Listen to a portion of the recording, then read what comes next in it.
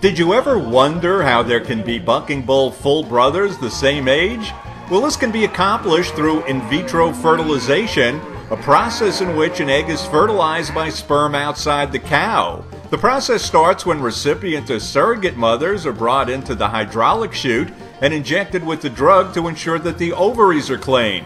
At the same time, a CIDR is implanted to prevent the cow from going into heat. The cow is then released. Seven days later, the cow returns, the CIDR is removed, and the process of the cow going into heat begins. The cow is then injected with hormones. At the same time, donor cows are given injections that'll prompt their ovaries to produce several eggs. The donor cows then visit the reproductive laboratory where the process of creating embryos from oocytes or unfertilized egg cells by fertilizing them with sorted semen in a petri dish begins. Oocytes are collected from the ovaries of donors by ultrasound aspiration. Oocytes are then placed in a petri dish and fertilized the following day with the sorted semen.